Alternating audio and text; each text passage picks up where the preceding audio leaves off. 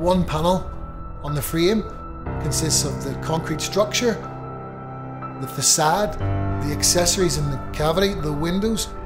All of those multiple deliveries were reduced and we had one single delivery. This project, Elliotts Yard, delivers 200 apartments, uses high-rise modern methods of construction and it began in, in January 2020. We're now three months away from completion and it's exciting times because we've recently topped out precast tower structure and that confirms we are on the way to completing the project. I'm Rudy Moore, I'm a contracts manager for Farrans.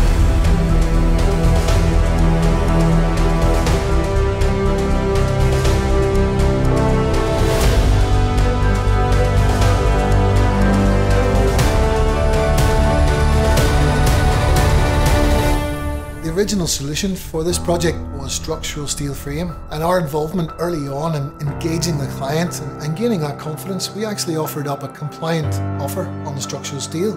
But what we did as well was we offered up two extra solutions, a lightweight frame and also the precast modular offsite frame that we have got now. So that early engagement, that value for money and the enhanced performance was very much appealing to the client and they've chosen to go down that route. Our expertise working in high-rise is vastly developed. We're currently completing high-rise building in Belfast, City Quays 3, Northern Ireland's tallest office building. We're also delivering student high-rise accommodation in Bristol, and we're currently delivering two high-rise student accommodations in Belfast as well. We do work with our supply chain provider, Creagh. They can deliver their product from, from nearby locations, but also they have factory level conditions so the quality of the product and those multiple deliveries combined into one is a real contributor of reducing our carbon footprint.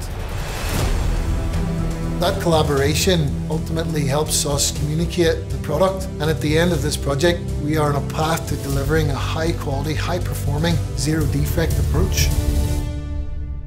This type of construction massively reduces carbon footprint of construction materials and construction built on site Precast concrete has got a big thermal mass, so that over the lifespan of the building, the heating cost will be severely reduced compared to other forms of construction. There was great practical collaboration between the client, Farrans and ourselves about how we can make the build easier and slicker going to the site. It was a very fast build, but it's also a very fast handover process. We've got a fantastic building and it's really one of the key highlights then at Skyline now in Coventry. My name is James McKaig. I am the Director for Creagh Concrete, responsible for the design, manufacture and construction of this project. An objective of, of being here delivering this project is recognising social interaction, delivering a knowledge awareness about construction to those in this community. It's so important to see the reaction from the students, from the pupils who are in this region. When we get the opportunity to explain that to them and see them understanding that it's not just a building, there is support staff, there's technical side, there is architects, there is so many roles out there in this industry.